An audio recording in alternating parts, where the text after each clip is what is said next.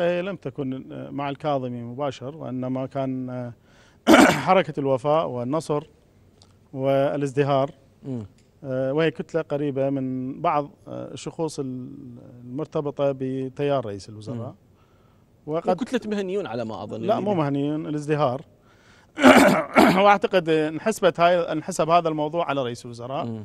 السيد رئيس الوزراء كان متفق مع القوى السياسية أن لا يشترك بالانتخابات. ولا يدعم الكتل السياسيه محددة وأعتقد صار عليه ضغط بهذا المجال ان هذه الحزب الجديد المؤتلف مع النصر ومع الوفاء له علاقة برئيس الوزراء. وبالتالي ضغط رئيس الوزراء على جماعة الازدهار وسحبوا ترشيحهم من ليش من؟ من التحالف آه، آه، حفاظا على يعني وعد رئيس الوزراء بعدم التدخل بالانتخابات.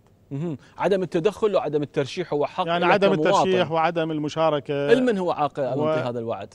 آه، للقوى السياسية. الوعد غريب يا أخي. إي. غريب يعني. هو هو رجل من حقه ينزل انتخابات. يعني ماكو شيء يمنعه من ينزل انتخابات أو, أو يمنع أي قوة من القوى المرتبطة به أو الأشخاص اللي مرتبطين به.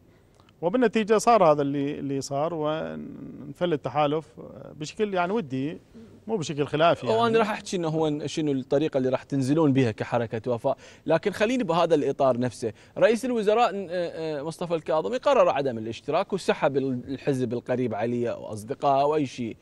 أي شيء كان، مقابل ماذا؟ الصحافة تتحدث اليوم بتقارير تقول أكو وعود تلقاها من عدة كتل سياسية بضمان ولاية ثانية إلى مقابل عدم اشتراكه في في الانتخابات المقبلة. ما عندي فكرة عن هذه الوعود ولا أحد تحدث ويانا بهذا المنطق الحقيقة ربما إذا كان هذا الحديث في أروقة خاصة لا علم لي ولا اطلاع علي به الموضوع هو كله هو هو رجل لديه الحق في في خوض الانتخابات مم.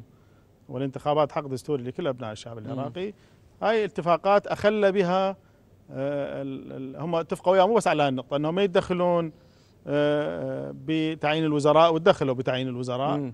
اتفقوا وياه يحمون ال- ال- ال- الحكومة لحد الانتخابات وما حموا الحكومة لحد الانتخابات. مم. فبالتالي هم اللي نقضوا هم نقضوا الاتفاقات. ويا رئيس وزراء. رجل ربما أخلاقه. يعني آه، عالية. أكثر من اللازم. أكثر من اللازم. خليته مثلا. يعني يلتزم بهذا. والا هم خرقوا الاتفاق وياه مو تعتقد ال ال